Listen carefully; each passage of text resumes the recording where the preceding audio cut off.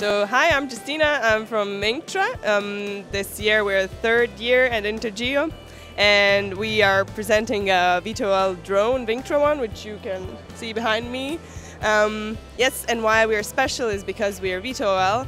Um, we can carry uh, heavier loads. That means heavier high-end cameras, and these cameras take very high resolution pictures, which result in uh, very high accuracy.